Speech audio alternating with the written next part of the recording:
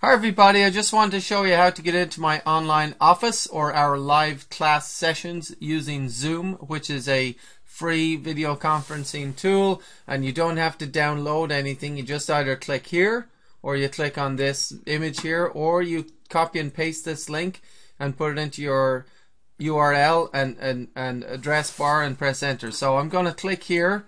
It'll open up in a new tab. I'm just going to wait for a few minutes. I don't have to download anything. It'll, it should just run. And it'll ask if you want to join with computer audio. You know, yes. You can test your speaker and microphone here if you want. But just click on that. And there you're in. That's it. That's all you have to do. That's all you have to do. Okay. Um, now the important once you're in here, the important tools are mute, so that you can, people can't hear you, so that we don't have 20 people talking at the same time. So mute yourself unless you want to ask a question or talk. Um, and you can adjust your sounds here with these little arrows, right?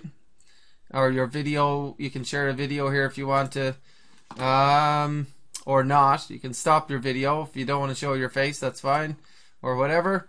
Um, you can share your screen, click here, and then click on a screen and share it, right?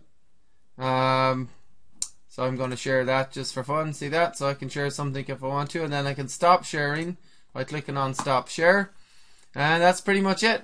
So hope to see you in our in our, in one of our live classes or online office.